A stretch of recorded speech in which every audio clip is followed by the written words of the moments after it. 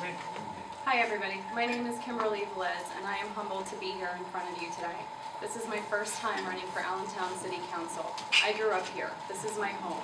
I went to middle school and high school here. I graduated. I went to college in New York, um, where I studied broadcasting and journalism. A passion for the public was always something that was dear to me. I worked in New York City for about six years, and at the, at the last, in the last year, I started thinking about what mattered. Community mattered, family mattered, home mattered, the Lehigh Valley, I missed it. I moved back here in 2012. I started attending city council meetings. I started learning about what the big issues were in this city. I started realizing how much a voice was needed for the people, for the community, for our adolescents, for our kids. Um, I got a job with the Children's Hospital, Lehigh Valley Health Network. I represent them, I do their marketing, as well as all women's services. Um, in addition to that, I was asked shortly after I started working there to be part of the Healthy Kids, Healthy Allentown Committee.